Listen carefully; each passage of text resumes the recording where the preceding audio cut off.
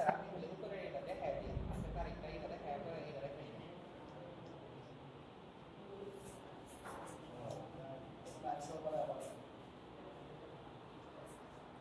প্রথম দিকে মার্কস ছিল না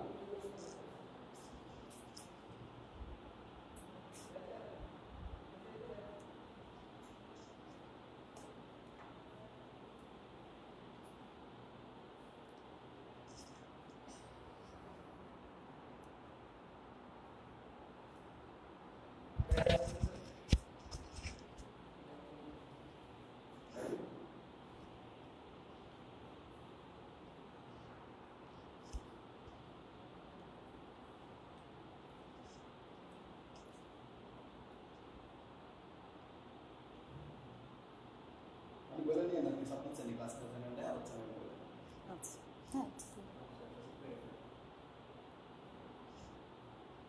আমি তো ওই জায়গাটাতে এসে লিখা পাইছি এই জন্য ওইটার উপরে লিখেছি।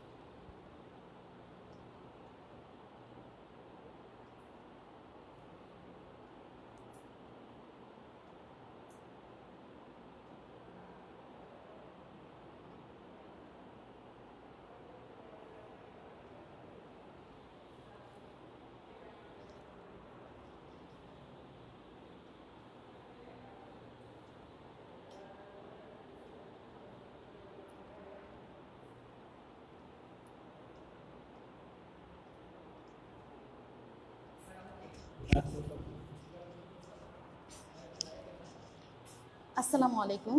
বিসমিল্লাহ রহমান রাহিম। সুপ্রিয় শিক্ষার্থীবৃন্দ, আশা করি তোমরা ভালো আছো।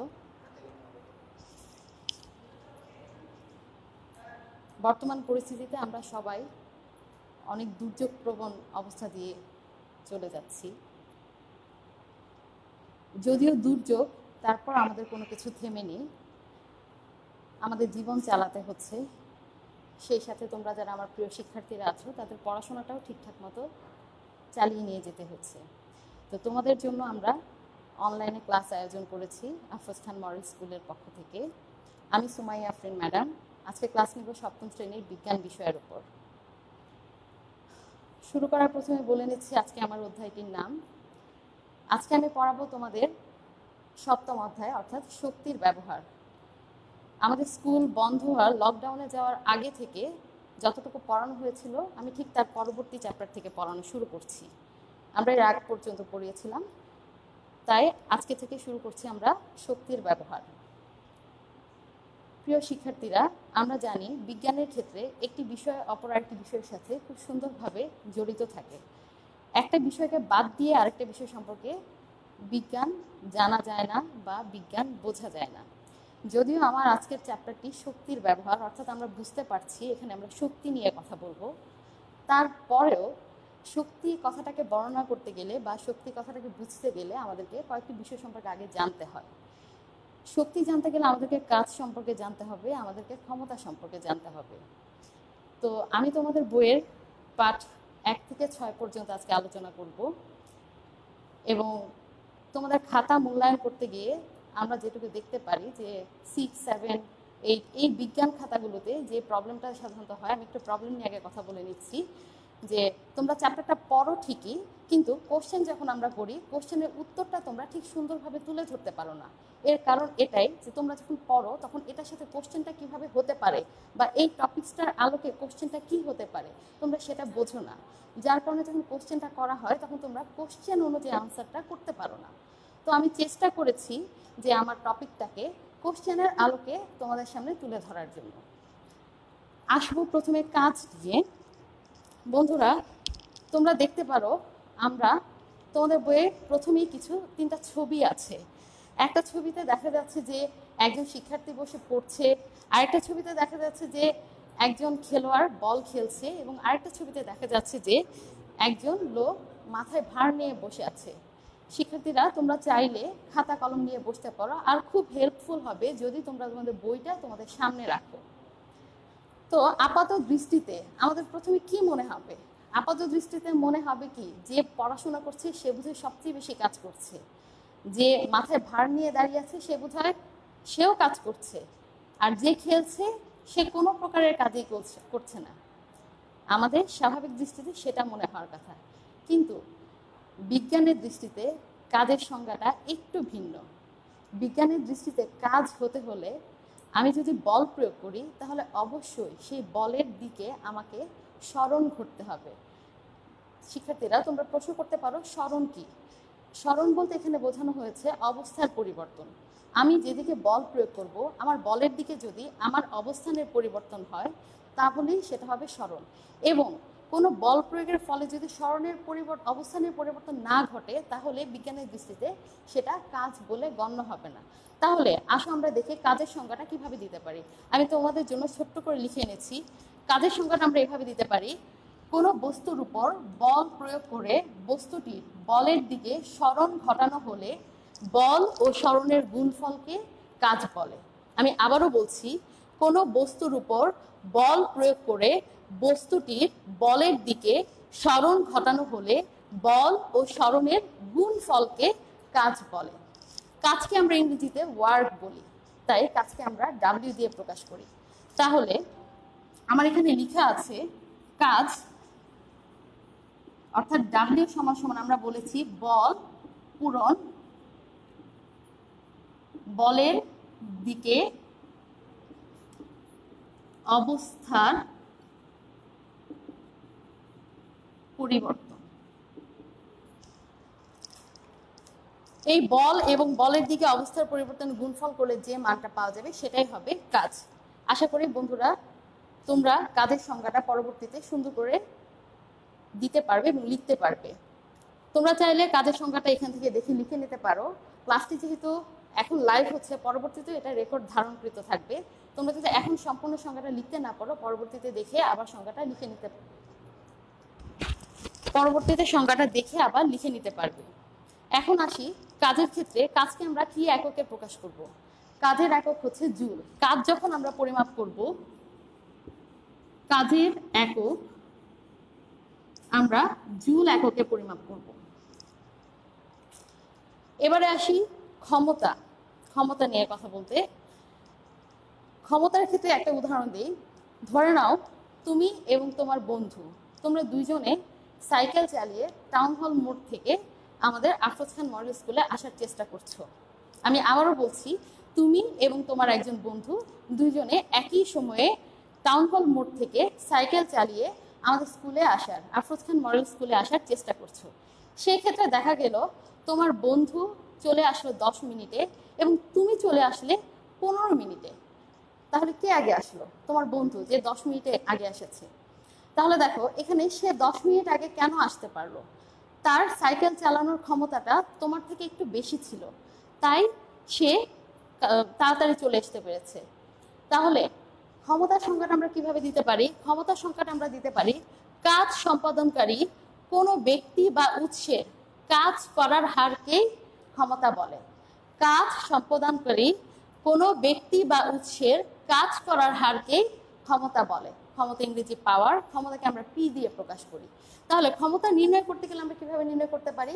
আমরা যদি মোট কাজকে, অর্থাৎ কৃত কাজকে আমাদের মোট সময় দিয়ে ভাগ করি, তাহলেই আমরা ক্ষমতা নির্ণয় করতে পারব। আমি দেখিয়ে দিয়েছি, ক্ষমতা সমান কৃত কাজ বাই ব্যয়িত সময়, অর্থাৎ আমি যে কাজটা করেছি সেই কাজ বাই মোট সময়। এবং ক্ষমতার একককে আমরা বলতে পারি, যেহেতু আমরা লিখেছি ক্ষমতা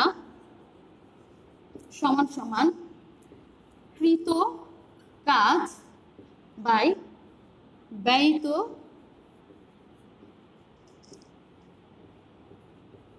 সময়। কৃত কাজের একক বলেছি, কাজের একক আমরা বলেছি জুল, আর সময়ের একক আমরা জানি সেকেন্ড। সেই ক্ষেত্রে আমরা এই লেখাটাকে লিখতে পারি জুল, এই টানটাকে আমরা বলতে পারি পার। জুল পার সেকেন্ড এই কথাগুলো তোমাদের জন্য এখন অনেক নতুন মনে হতে পারে, কিন্তু তোমরা যখন পরবর্তীতে আস্তে আস্তে ধাপে ধাপে বড় ক্লাসে উঠবে এইট নাইন টেনে তোমাদের তখন এগুলো আর প্রবলেম থাকবে না। আপাতত আমরা শিখে নেব এই টানটাকে, আমরা বলি পার তাহলে আমরা বলতে পারি জুল পার সেকেন্ড এটাকে জুল পার সেকেন্ড না বলে এক কথায় এটাও বলা যায় বা ওয়াট তাহলে ক্ষমতাকে আমরা ওয়াট এককে প্রকাশ করতে পারি, আর ওয়াট কোথা থেকে হয়? জুল পার সেকেন্ড এটাই হচ্ছে ওয়াট আচ্ছা। এবারে আসি আমাদের সেই শক্তি যে বিষয় নিয়ে আমাদের আলোচ্য বিষয়, শক্তির ব্যবহার। আমরা শক্তি নিয়ে কথা বলি। শক্তি, তোমাদেরকে আরেকটা উদাহরণ দিচ্ছি। ধরো, তুমি তোমার যে বন্ধুর সাথে সাইকেল চালানো শুরু করেছিলে, সেই বন্ধুর সাথে তুমি পার্কে গেলে, আমাদের সার্কিট হাউস মাঠে গেলে যে দুই বন্ধু মিলে কথা বললে যে, আমরা এই মাঠটা প্রদক্ষিণ করব। এখন তোমার বন্ধু বলল, আমি পাঁচবার প্রদক্ষিণ করতে পারব। তুমি বললে, আমিও পাঁচবার প্রদক্ষিণ করতে পারব। তখন তারপর তোমরা শুরু করলে, দুজনে মিলে পাঁচবার প্রদক্ষিণ করা। কিন্তু দেখা গেল, তুমি দুইবার প্রদক্ষিণ করার পরে তুমি বসে পড়েছো, তুমি আর চলতে পারতেছো না। কিন্তু তোমার বন্ধু ঠিকই সে পাঁচবারই মাঠটা প্রদক্ষিণ করেছে। এখানে কি বলবে? এখানে তোমার বন্ধুর পাঁচবার মাঠটাকে প্রদক্ষিণ করার মতো সামর্থ্য আছে। কিন্তু তোমার পাঁচবার মাঠটাকে প্রদক্ষিণ করার মতো সামর্থ্য ছিল না। যার জন্য তুমি দুইবার করার পরে বসে পড়েছো। তাহলে দেখো, শক্তির সংজ্ঞাটা আমরা কি দিতে পারি? কাজ করার সামর্থ্যকেই শক্তি বলে। খুব ইজি খুব সিম্পল কাজ করার সামর্থ্যকেই শক্তি বলে। আমি আবারও বলছি, কাজ করার সামর্থ্যকে শক্তি বলে। শক্তি এবং কাজের একক। যেহেতু কাজ করার সামর্থ্যই শক্তি, তাহলে কাজের যে একক, শক্তিরও সে একক। শক্তির একক হচ্ছে জুল। কাজ এবং শক্তির একক জুল। মনে রাখতে হবে, কাজ এবং শক্তির একক জুল। শিক্ষার্থীরা, আমি তোমাদের জন্য কাজ ক্ষমতা শক্তি, এই তিনটা সংজ্ঞাকে এভাবে চার আকারে লিখে এনেছি এবং এদের রিলেটেড বিষয়গুলোকে এভাবে লিখে এনেছি। এর তিনটি সুবিধা। সুবিধা নাম্বার এক এই একটি চার্ট পড়লে আমরা অনেকগুলো কোশ্চেন সম্পর্কে জানতে পারব। প্রথম কোশ্চেন তোমাকে যদি প্রশ্ন করা হয়, কাজ কাকে বলে? তুমি কাজের সংজ্ঞা দিতে পারবে। যদি প্রশ্ন করি, কাজ কি? প্রশ্ন করতে পারি, ক্ষমতা কি? প্রশ্ন করতে পারি? শক্তি কি? প্রশ্ন আসতে পারে, কাজের একক কি? প্রশ্ন আসতে পারে, ক্ষমতার একক কি? প্রশ্ন আসতে পারে, শক্তির একক কি? প্রশ্ন আসতে পারে, কাজ ও ক্ষমতার মধ্যে পার্থক্য কি ক্ষমতা-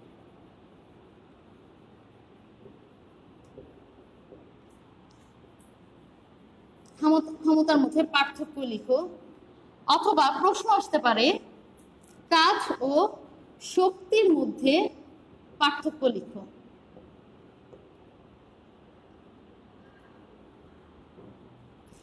যদি পার্থক্যমূলক কোশ্চেন আসে, তাহলে সেটাতে থাকবে আমাদের দুই নাম্বার অর্থাৎ দুইটি পার্থক্য আমাদের কাছে চাইতে পারে। আর এই যে প্রশ্নগুলো, কাজ কি, ক্ষমতা কি, শক্তি কি, কাজের একক ক্ষমতার একক শক্তির একক বা কাজ কীভাবে নির্ণয় করা হয়, ক্ষমতা কীভাবে নির্ণয় করা হয়, এগুলো যদি আসে, সেগুলো থাকবে আমাদের জ্ঞানমূলক কোশ্চেনে আমি আমার ক্লাস শুরু করার প্রথমেই বলেছিলাম যে তোমরা কোশ্চেন বোঝো না। কোশ্চেন না বুঝে আনসার করো, যার কারণে তোমরা লিখলেও নাম্বার ক্যারি করতে পারো না। তো আমি আমার কোশ্চেনের আলোকে এখান থেকে তোমাদেরকে বলে দিচ্ছি যে আমার এই টপিকসটা থেকে কোশ্চেন কি কি আসছে। দেখো, আমি জ্ঞানমূলক কোশ্চেন নিয়ে আলোচনা করেছি। আমি প্রয়োগমূলক কোশ্চেন নিয়ে আলোচনা করব, অনুধাবন কোশ্চেন নিয়ে আলোচনা করেছি। এবারে চলে যাব প্রয়োগমূলক কোশ্চেনে আমার এই টপিকটা থেকে গণিত কিছু, গাণিতিক কিছু সমস্যা আসতে পারে। আমি দুইটা গাণিতিক সমস্যা তোমাদের জন্য লিখে রেখেছি। তোমরা যদি ফলো করো, দেখতে পারবে। দেখো, আমি একটা ডাক লিখেছি। আমার এখানে লেখা আছে, কোনো ব্যক্তি কোনো বস্তুর উপর দুইশো পঞ্চাশ নিউটন বল পঞ্চাশ সেকেন্ড যাবত ক্রিয়া করলে বস্তুটির একশো মিটার স্মরণ হলো। ক্ষমতা কত? আমি আবারও পড়ছি ডাকটি কোনো ব্যক্তি কোনো বস্তুর উপর দুইশো পঞ্চাশ নিউটন বল পঞ্চাশ সেকেন্ড যাবৎ ক্রিয়া করলে বস্তুটির একশো মিটার স্মরণ হলো। ক্ষমতা কত? আমি এক নম্বর অঙ্কটি সমাধানটি করে দিচ্ছি।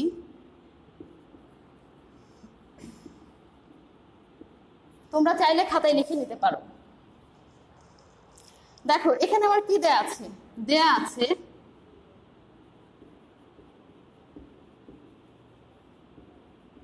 দেয়া আছে বল সমান সমান দুইশো পঞ্চাশ দুইশো পঞ্চাশ নিউটন। সময় দেয়া আছে পঞ্চাশ সেকেন্ড এবং স্মরণ দেয়া আছে একশো মিটার। আমরা কাজের সূত্রে চলে যাই। কাজের সূত্র থেকে জানি, আমরা জানি ক্ষমতা নির্ণয় করতে হলে আমাকে কাজ বের করতে হবে। কিন্তু আমার এখানে কাজ, কাজের পরিমাণ দেয়া নেই। তাহলে আমি কীভাবে কাজের পরিমাণ বের করতে পারি? খুব ইজিলি আমি এখানে এই সমীকরণ থেকে কাজের পরিমাণটা বের করে নিতে পারি। আমরা জানি কৃত কাজ বা কাজ সমান সমান বল ইন্টু স্মরণ আমার এখানে বলের মান কত দেওয়া আছে? দুশো নিউটন। আমি সংক্ষেপে নিউটন লিখলাম দন্ত নয় ঋষিকার দিয়ে। এবং স্মরণ কত দেওয়া আছে? একশো মিটার। তাহলে আমার কত হলো?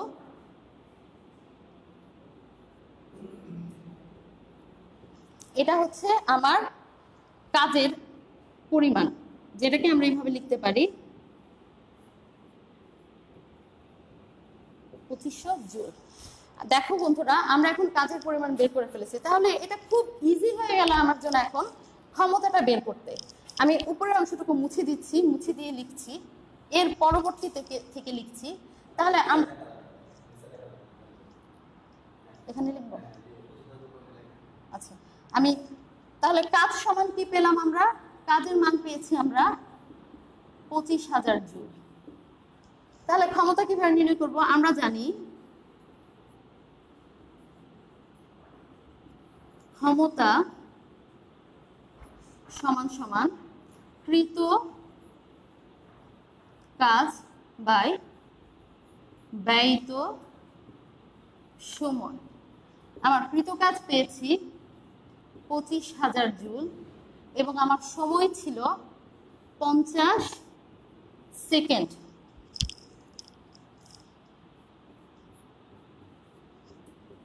তাহলে আমার ক্ষমতা কত হলো? পাঁচশো জুল পার সেকেন্ড। আমি আগেই বলেছি, এটাকে আমরা লিখতে পারি পাঁচশো ওয়াট। এখন, এই ধরনের কোশ্চেন থাকতে পারে। উদ্দীপকে এরকম একটা কোশ্চেন দিয়ে তোমাকে তিন নাম্বার এই ধরনের কোশ্চেনটা থাকতে পারে। ক্ষমতা নির্ণয় করো।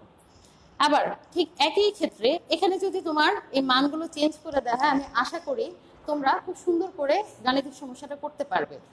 গাণিতিক সমস্যা একবার দেখে হয় না, সমাধান করা যায় না। গাণিতিক সমস্যাকে বারবার সলভ করতে হয়। তুমি যদি বাসায় একবার প্র্যাকটিস করো, আমি আশা করি তোমরা পরবর্তীতে এই ধরনের সমস্যা আসলে পারবে।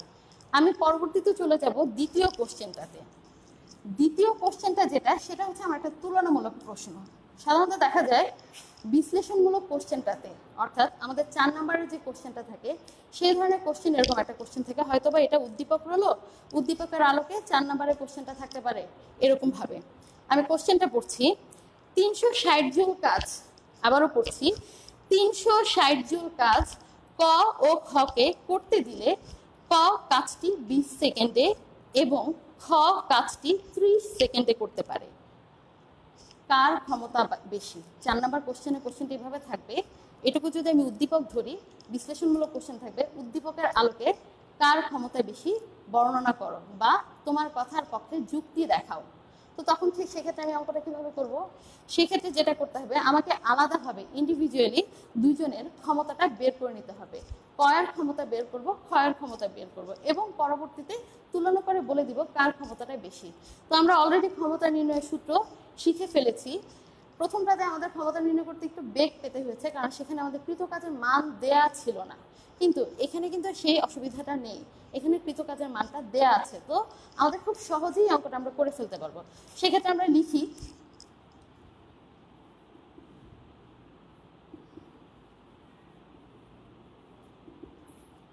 দেয়া আছে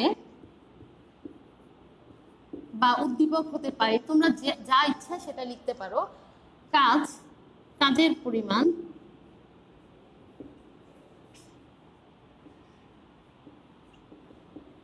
তিনশো ষাট জুল।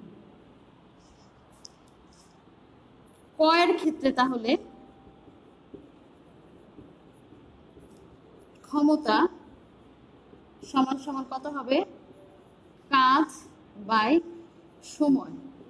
কয়ের ক্ষেত্রে সময়টা কত সেকেন্ড ছিল? বিশ সেকেন্ড তিনশো ষাট জুল বাই বিশ।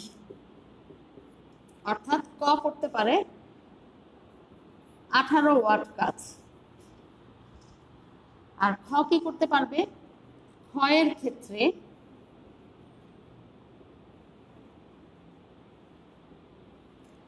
আমি আর এই অংশটুকু লিখলাম না। আমরা লিখতে পারি তিনশো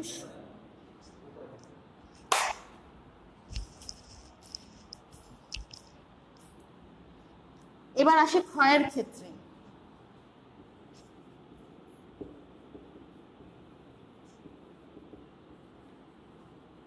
ক্ষমতা তিনশো ষাট জুল। এখানে সময় ছিল তিরিশ সেকেন্ড। অর্থাৎ বারো ওয়াট। তাহলে কয়ের ক্ষমতা পেলাম আঠারো ওয়াট এবং ক্ষয়ের ক্ষমতা পেলাম বারো ওয়াট। তোমরা বলো বন্ধুরা, কার শক্তি বেশি বা কার ক্ষমতা বেশি? আমার মনে হয় আনসারটা তোমরা খুব সুন্দর করে গুছিয়ে লিখতে পারবে। তো লেখার ক্ষেত্রে আরেকটা কথা বলব তোমাদেরকে। কোশ্চেন তোমরা যখন খাতায় লেখো ম্যাক্সিমাম ক্ষেত্রে তোমাদেরকে আমি একটা জিনিস দেখি এবং ওইটা ক্লাসে বলে থাকি যে, তোমরা লেখা শুরু করে দাও। ক নং প্রশ্ন দিয়ে লেখা শুরু করে দিয়েছ। আসলে প্রশ্নটা শুরু কোথায়, শেষ কোথায় সেটা বোঝা যায় না। এই বিষয়ে একটু খেয়াল রাখবে। আমরা যখন প্রশ্ন আনসার করব তখন এইভাবে লিখব, ক। তারপর এখান থেকে লেখা শুরু করব। পরবর্তীতে যখন লিখব খ নং প্রশ্ন মাঝখানে খটা লিখে যদি আমরা এখান থেকে শুরু করি, আমার লেখাটা দেখতে ভালো দেখা যাবে। আর গাণিতিক সমস্যার ক্ষেত্রে আমরা যে জিনিসটা খেয়াল করব, আমরা কাটাকাটি অ্যাভয়েড করব খাতায়, পরিষ্কার পরিচ্ছন্নতা মেনটেন করব। এতক্ষণ আমরা কথা বললাম কাজ, ক্ষমতা শক্তির নিয়ে। এবারে আমাদের চ্যাপ্টারের মেইন বিষয় যেটা, শক্তির ব্যবহার আস্তে আস্তে আমরা এখন সেই দিকে ঢুকছি। আমরা এখন আলোচনা করব শক্তির রূপ নিয়ে। শক্তির বেশ কিছু রূপ আছে। আমি একে একে রূপগুলো একটু লিখে যাচ্ছি। তোমরা চাইলে নোট ডাউন করে নিতে পারো। অথবা কেউ যদি বইটার সামনে থাকে, বইটা দেখে নিতে পারো। আলোচনা করছি শক্তির রূপ নিয়ে।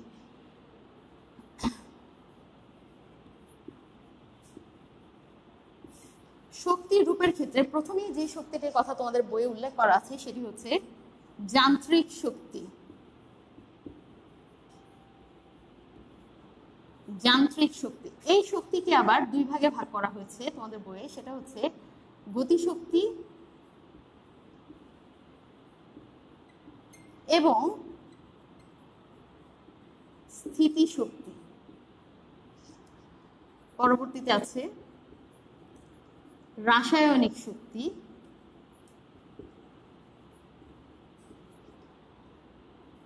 আছে তাপ শক্তি পরবর্তীতে আছে আলোক শক্তি।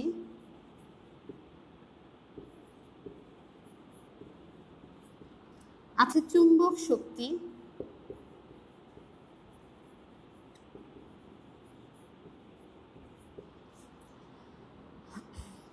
আছে শব্দ শক্তি।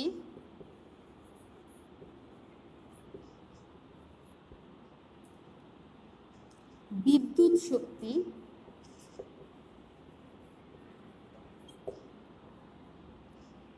পারমাণবিক শক্তি।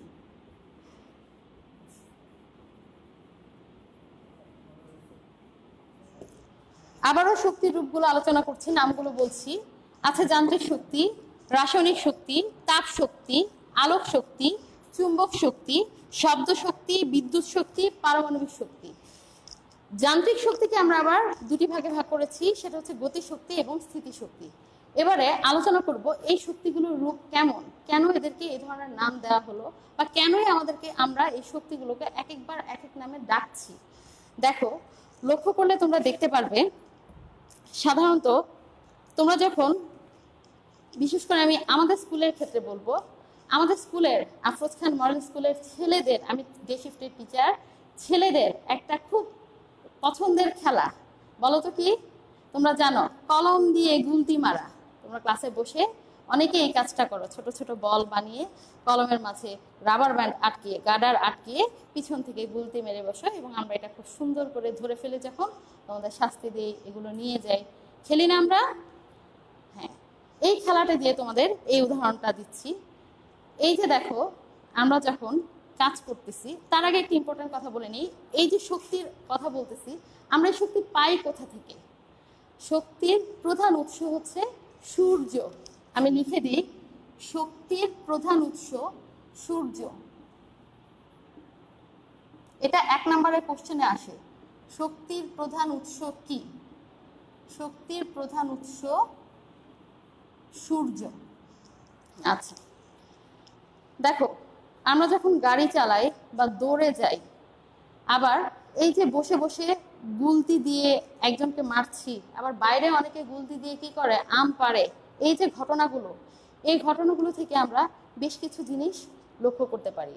আমরা যখন দৌড়াচ্ছি বা একটা স্থিতিশীল অবস্থায় আছি, সেই অবস্থা থেকে যখন আরেকটা অবস্থায় যাচ্ছি, তখন আমাদের এদের পারিপার্শ্বিক সাপেক্ষে কিছু পরিবর্তন হয়। এই যে পরিবর্তনগুলো হয়, এই পরিবর্তনগুলো যান্ত্রিক শক্তির এক একটি রূপ, ঠিক আছে? এখন এই যান্ত্রিক শক্তির রূপ থেকে এই যে দুইটি ভাগে ভাগ করেছে গতিশক্তি, তাহলে গতিশক্তির সংজ্ঞাটা আমরা কীভাবে দিতে পারি? কোনো ব্যক্তি বা বস্তু গতিশীল হওয়ার জন্য কাজ করার যে সামর্থ্য অর্জন করে, সেটাকেই বলা হয় গতিশক্তি। আমি আবারও বলছি, তোমরা চাইলে লিখে নিতে পারো। আমি গতিশক্তির সংজ্ঞাটা লিখে দিচ্ছি। গতিশক্তি, কোনো ব্যক্তি বা বস্তু গতিশীল অবস্থা অর্জনের জন্য, কাজ করার যে সামর্থ্য গতিশীল অবস্থায় আসার জন্য কাজ করার যে সামর্থ্য অর্জন করে, তাই গতি শক্তি। তাহলে স্থিতিশক্তি কোনটি?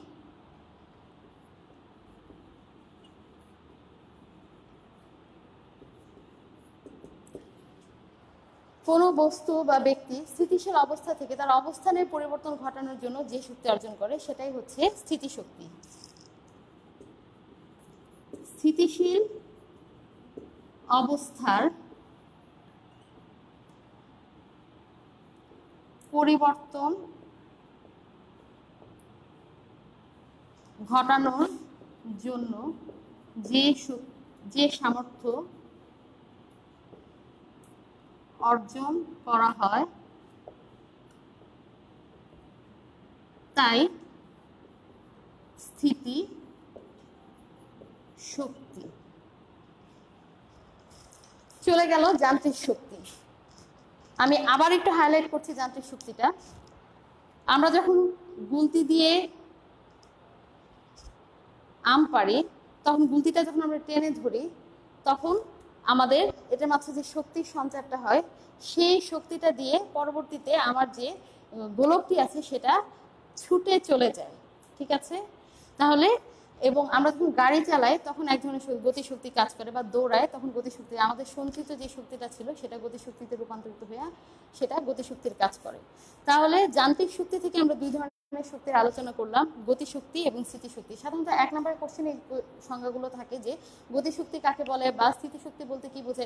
কিংবা একটা উদাহরণ দিয়ে কাজ করাতে পারে, একটি উদাহরণ দিতে পারে যে গুলতিতে কি ধরনের শক্তি কাজ করে? তো আমরা আশা করব যে এই বিষয়টা তোমরা পরবর্তীতে লিখতে পারবে বা বুঝতে পারবে। এবারে চলে যাব আমাদের সেকেন্ড শক্তি, রাসায়নিক শক্তি। দেখো, আমরা খাদ্য বা জ্বালানিতে যে শক্তিটা পাই, আলোচনা করছি রাসায়নিক শক্তি।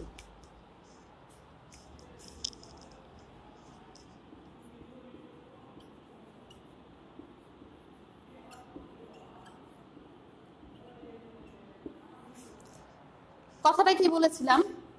খাদ্য বা জ্বালানি। খাদ্য বা জ্বালানিতে আমরা যে শক্তিটা পাই, সেটা হচ্ছে আমাদের রাসায়নিক শক্তি। সাধারণত আমাদের অন্ত্রের ভিতরে যখন খাবারের প্রক্রিয়াকরণ চলে, তখন আমাদের খাদ্যগুলো এই রাসায়নিক শক্তিটা অর্জন করে থাকে। এছাড়া কাঠ, কয়লা পুড়িয়ে আমরা রাসায়নিক শক্তি পেতে পারি, গ্যাস, জ্বালানি, এগুলো পুড়িয়ে আমরা রাসায়নিক শক্তি পেতে পাই তাছাড়া মোস্ট ইম্পর্ট্যান্ট একটা কথা যেটা ম্যাক্সিমাম সময়ে উদাহরণে থাকে তোমাদের, যে টর্চ টর্চে কি ধরনের শক্তি থাকে? টর্চ লাইটে বাতির যে টর্চ লাইট বাতির টর্চ এতে এতে থাকে এই রাসায়নিক শক্তি। এতে রাসায়নিক শক্তির উদ্ভব থাকে। এছাড়া ব্যাটারি, অবশ্যই আমাকে এই দুইটা কথা খুব ভালো করে মনে রাখতে হবে। রাসায়নিক শক্তির ক্ষেত্রে প্রথমত সংজ্ঞাটা হচ্ছে খাদ্য জ্বালানিতে যে শক্তি পাওয়া যায়, তাই হচ্ছে রাসায়নিক শক্তি। এবং দ্বিতীয়ত হচ্ছে যেটা মনে রাখতে হবে, বাতির টর্চ, আমার লেখাটা আমি আরেকটু স্পষ্ট করে দিই, টর্চ এবং ব্যাটারি, এতে থাকে রাসায়নিক শক্তি। গেল আমাদের রাসায়নিক শক্তি নিয়ে কথাবার্তা বলা। এবারে আসব আমরা তাপ শক্তি।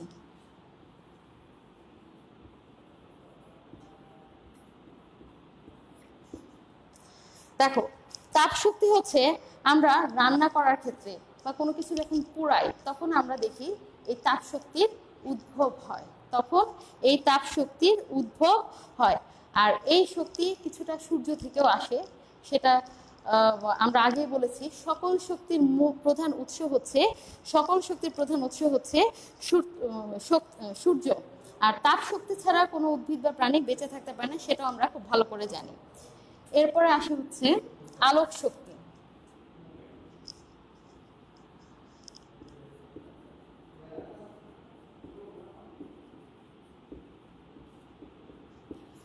সূর্য থেকে যখন তাপ শক্তি আসে, এর সাথে অন্যতম একটি শক্তি আসে, সেটা হচ্ছে আলোক শক্তি। সূর্য থেকে সূর্য থেকে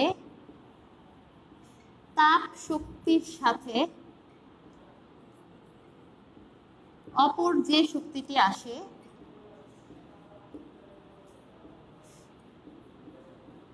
শক্তিটি আসে, সেটি আলোক শক্তি। এখন, এই আলোক শক্তি না থাকলে কি হতো? আলোক শক্তি না থাকলে আমরা দেখতে পারতাম না কোনো কিছু, তাই না? তাহলে এছাড়া আরও কিসে কিসে আমরা আলোক শক্তি পাই, আমরা বৈদ্যুতিক লাইটে আলোক শক্তি পাই। তো এই বিষয়গুলো আমাদেরকে পড়তে হবে। তোমরা বইটা ফলো করলে দেখবে। আমি যে কথাগুলো বলছি, সে কথাগুলো বইটাতে খুব সুন্দর করে লিখে দেওয়া আছে। তোমাদের একটু কষ্ট করে মুখস্থ করতে হবে। আর আরেকটা কোশ্চেন এখান থেকে আসে, আলোক শক্তি কি? এই সংজ্ঞাটা প্রায়ই তোমরা যদি প্রশ্ন দেখো, দেখবে এক নম্বরে জ্ঞানমূলক কোশ্চেন এই সংজ্ঞাটা আসে। হ্যাঁ তখন তোমরা অনেকে অনেক ধরনের উত্তর লিখো, কিন্তু তোমাদের বই কিন্তু সুন্দর করে এই লাইনটাই দিয়ে আছে যে সূর্য থেকে তাপ শক্তির সাথে আমরা অপর যে শক্তিটি পাই সেটি আলো তোমরা এই একটা লাইন লিখলেই তোমরা এক নম্বর পেয়ে যাবে। এখানে বানিয়ে নিজের মতো করে বা বিস্তারিত করে কোনো কিছু লেখার প্রয়োজন নেই, আমাকে বোঝানোর প্রয়োজন নেই। বইয়ে যা আছে সেটা সুন্দর করে উপস্থাপন করো, তোমরা নাম্বার পেয়ে যাবে। এবারে আসব চুম্বক শক্তি নিয়ে একটু কথা বলতে। গেল আমাদের আলোক শক্তি, এবারে চুম্বক শক্তি নিয়ে কথা বলব।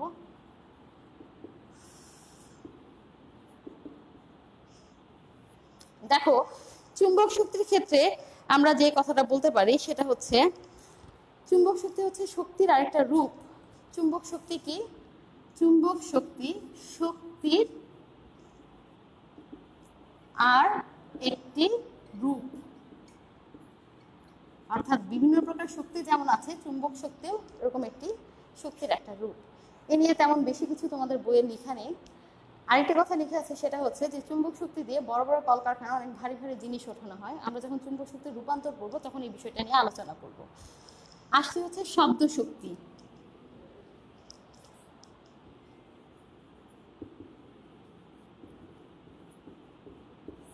শব্দ শক্তি দেখো, আমরা যখন বাঁশি বাজাই, কথা বলি, গান করি, তখন কি হয়? যে শক্তিটা উৎপন্ন হয়, সেটাই হচ্ছে শব্দ শক্তি আবার রেডিও, টেলিফোন, এগুলোতেও যে শক্তি উৎপন্ন হয়, সেগুলো কি?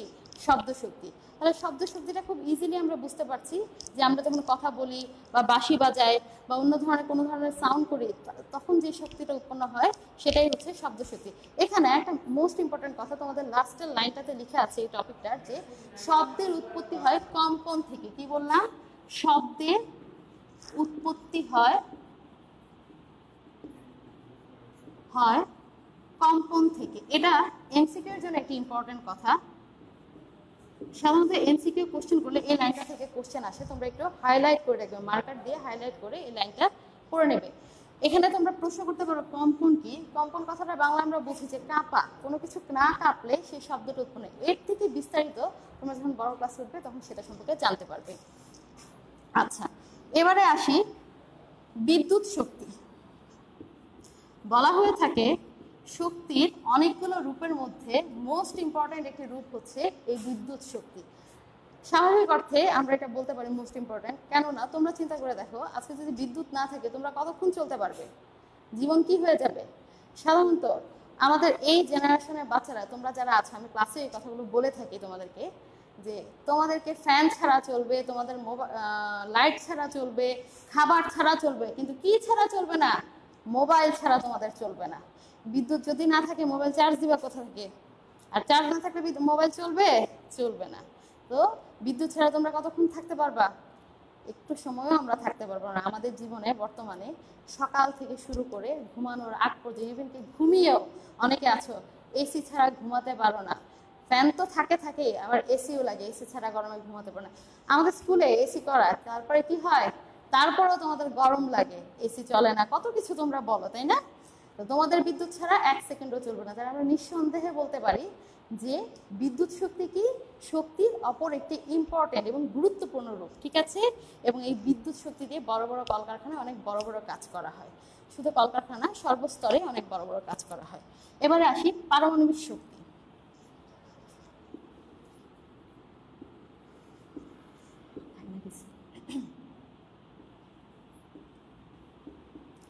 পারমাণবিক শক্তি। দেখো, আমরা জানি পরমাণুর সমস্ত ভর তার কেন্দ্রে পুঞ্জীভূত থাকে।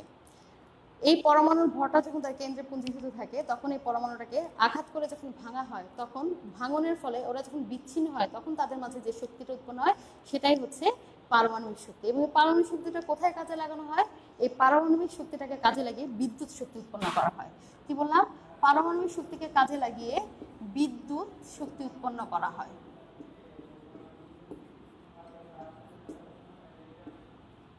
আচ্ছা। আমরা আলোচনা করে ফেলাম একে একে আমাদের আটটি শক্তির রূপ। আমি এখানে আটটি শক্তির রূপ নিয়ে আলোচনা করেছি। শুধু রূপ করলে তো হবে না। আমরা জানি শক্তির এক রূপ থেকে আরেক রূপে রূপান্তর করা যায়। রূপান্তর কথাটার মানে কি? মানে চেঞ্জ চেঞ্জ বলতে আমরা যা বুঝি, সেটাকে আমরা বলছি রূপান্তর। শক্তিকে এক রূপ থেকে আরেক রূপে রূপান্তর করা যায়। যেমন, যান্ত্রিক শক্তি। আমরা চাইলে যান্ত্রিক শক্তিকে বিদ্যুৎ শক্তিতে রূপান্তরিত করতে পারব, শব্দ শক্তিতে রূপান্তরিত করতে পারব, তাপ শক্তিতে রূপান্তরিত করতে পারব। এক্ষেত্রে তোমাদের একটা কমন কোশ্চেন আসে আমি কোশ্চেনটা নিয়ে আগে একটু আলোচনা করছি। ধরো।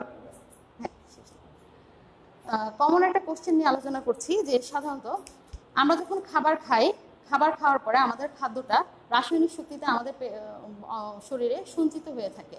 সে অবস্থায় আমাকে যদি একটা ভার উত্তোলন করতে দেওয়া হয়, আমি যখন ভারটি মাটি থেকে ওঠাবো, তখন আমার সেই সঞ্চিত শক্তিটা আস্তে আস্তে গতিশক্তিতে রূপান্তরিত হবে এবং উপরে যখন তুলবো, তখন সেটা স্থিতিশক্তিতে রূপান্তরিত হবে এবং এটা যখন আমি উপর থেকে মাটিতে ফেলে দেব, তখন সেটা কি হবে? আস্তে আস্তে শব্দ শক্তি এবং তাপ শক্তি উৎপন্ন করবে। কারণ ভারটি যখন আমি নিচে ফেলব, তখন দেখা যাবে ভারটি কিছুটা হয়ে গেছে। এই কোশ্চেনটার আলোকে একটা কোশ্চেন আসে তোমাদের যে শক্তির একই সাথে দেহের শক্তির বিভিন্ন রকমের রূপান্তর হয় একটি উদাহরণের মাধ্যমে প্রকাশ করো। তোমরা চাইলে এই উদাহরণটি সুন্দর করে বইয়ে দেওয়া আছে, তোমরা চাইলে এটি দিয়ে উদাহরণটি আস্তে আস্তে তুলে দিয়ে ব্যাখ্যামূলক কোশ্চেনে যেতে পারো। এছাড়া আর কিছু ইম্পর্টেন্ট বিষয় আমি লিখে দিচ্ছি, সেটা হচ্ছে যান্ত্রিক শক্তির রূপান্তরের ক্ষেত্রে কিছু ইম্পর্টেন্ট কথা। দেখো, যান্ত্রিক শক্তির ক্ষেত্রে আমরা যদি হাত দিয়ে হাত ঘষি হাত দিয়ে হাত ঘষি। এখানে আমার যান্ত্রিক শক্তি কোন শক্তিতে রূপান্তরিত হবে? যান্ত্রিক শক্তিটা আমার রূপান্তরিত হয়ে যায় তাপ শক্তিতে। হাত দিয়ে হাত ঘষলে যান্ত্রিক শক্তি তাপ শক্তিতে রূপান্তরিত হয়। ঢেকি দিয়ে ঢেকি দিয়ে ধান ভাঙলে যান্ত্রিক শক্তি শব্দ শক্তিতে রূপান্তরিত হয়।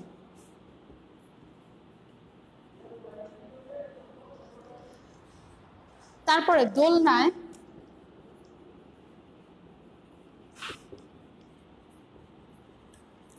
স্থিতিশক্তি গতিশক্তিতে রূপান্তরিত হয়। যান্ত্রিক শক্তির ক্ষেত্রে এই তিনটা রূপান্তর খুবই ইম্পর্টেন্ট এই তিনটা রূপান্তর দিয়ে অনেক সময় কোশ্চেন আসে যে ঢেকে থেকে ধান ভানার সময় কোন শক্তির কি ধরনের রূপান্তর ঘটে? তোমরা বইয়েও লেখা আছে, আমি হাইলাইট করে দিলাম, তোমরা বাকিটা বই থেকে একটু কষ্ট করে শিখে নিবে। এবারে আসি। রাসায়নিক শক্তি সেই আগের সিকোয়েন্স অনুযায়ী আমি সংক্ষেপে লিখছি। রাসায়নিক শক্তি রাসায়নিক শক্তি রূপান্তরের ক্ষেত্রে আমি যেটা বলব সেটা হচ্ছে, আমরা যে ব্যাটারি ব্যবহার করি, ব্যাটারিতে কি থাকে? রাসায়নিক দ্রব্য থাকে।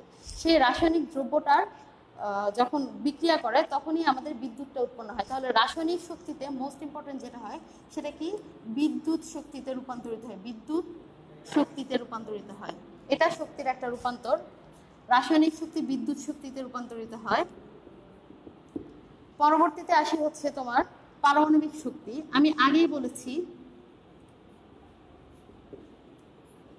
পারমাণবিক শক্তিও বিদ্যুৎ শক্তিতে রূপান্তরিত করা যায়।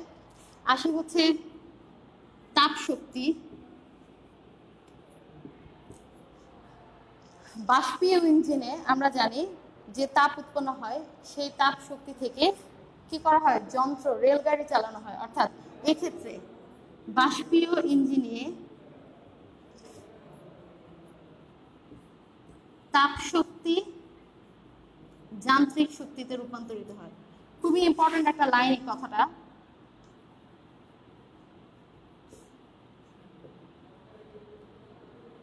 রূপান্তরিত হয়।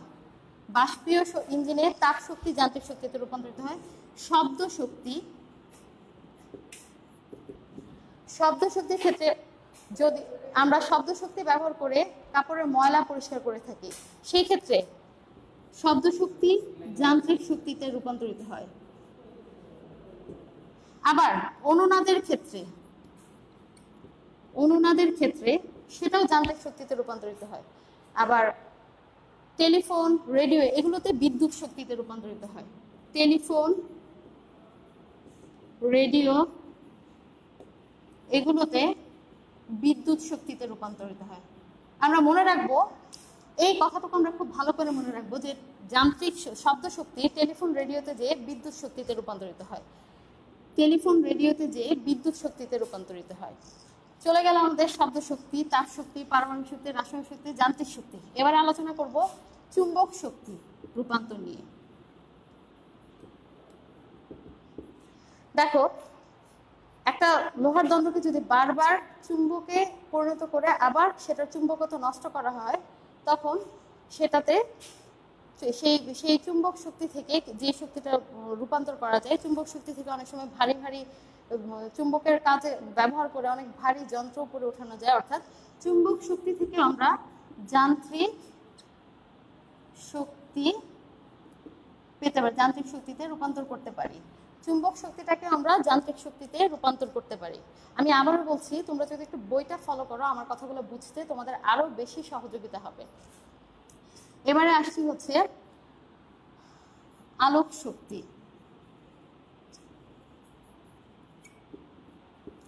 ফটোগ্রাফিক প্লেট, আমরা যে ছবি তুলি, ছবির যে প্রিন্ট আউট করি, সেই প্লেটটার কথা বলা হচ্ছে।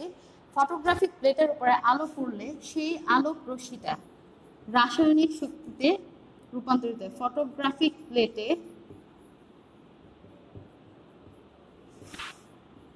আলোক শক্তি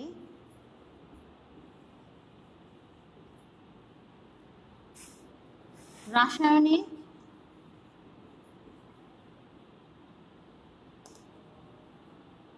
শক্তিতে রূপান্তরিত হয়।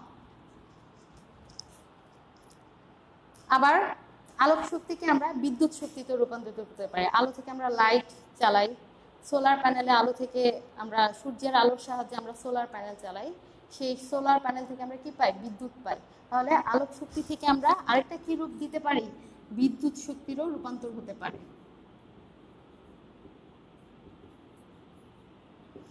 ঠিক আছে? বাকি রইল আর কোন শক্তি? এবার বাকি রইল বিদ্যুৎ শক্তি। এবারে আমার বিদ্যুৎ শক্তির রূপান্তরটা বাকি রইল। দেখো, বিদ্যুৎ শক্তির রূপান্তর, বিদ্যুৎ ছাড়া তো আমাদের এক মুহূর্ত চলে না, আমরা সেটাই বললাম। যে বিদ্যুৎ শক্তি আমরা যখন ইস্ত্রি দিয়ে কাপড় ইস্ত্রি করি, তখন কি হয়? ইস্ত্রিটা অনেক উত্তপ্ত হয়ে যায়, অনেক গরম হয়ে যায়। অর্থাৎ এখানে কি হচ্ছে? বিদ্যুৎ শক্তি তাপ শক্তিতে রূপান্তরিত হয়েছে। তাহলে ইস্ত্রিতে কি হয়? বিদ্যুৎ শক্তিটা তাপ শক্তিতে রূপান্তরিত হয়।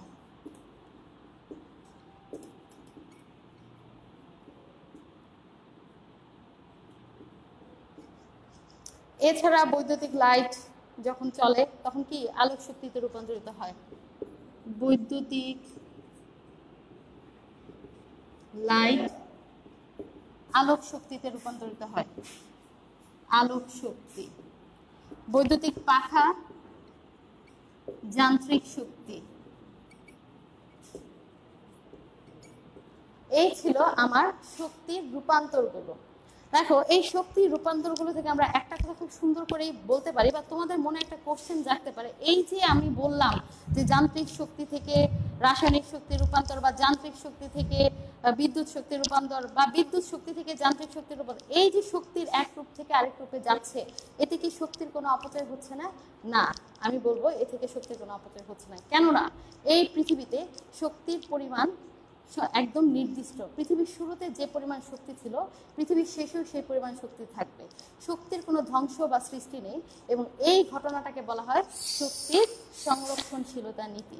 তোমাদের জন্য খুব ইম্পর্টেন্ট কোশ্চেন দুই নম্বরের কোশ্চেনে আসে, শক্তির সংরক্ষণশীলতা নীতিটি লিখো। আশা করি তোমরা আমার ক্লাসটি মনোযোগ দিয়ে দেখেছ। তোমরা, আমি চেষ্টা করেছি অল্প সময়ের মাঝে তোমাদেরকে একটু সহজ করে পড়াটা হাইলাইট করে তুলে ধরার জন্য। তোমাদের শিখতে হবে, আমি বারবার এই কথাটা বলি, আমি যত ভালো করেই পড়াই না কেন, তুমি যদি না শিখো, আমার পড়াটা কখনোই সাকসেসফুল হবে না। তো আমি আশা করব তোমরা ঘরে বসে কোনো কাজ নেই, কথাটা শিখবে, পড়াগুলো শিখবে এবং পড়াগুলো সুন্দর করে বাসায় প্র্যাকটিস করবে। আর আবারও আসব হয়তো বা সামনে, আল্লাহ যদি সুস্থ রাখে, বাঁচিয়ে রাখে, তোমাদের কাছে আমি দোয়া চাই আমার জন্য, আমার পরিবারের জন্য, আমিও তোমাদের সবার জন্য, আমার সকল ছাত্রছাত্রীদের জন্য আমার অন্তর থেকে তোমাদের জন্য দোয়া, আল্লাহ তোমাদের হেফাজত করো আল্লাপাক তোমাদের সুস্থতা দান করো আল্লাপাক তোমাদের দীর্ঘায় দান করো আসসালামু আলাইকুম। স্যার আল্লাহ আল্লাহ।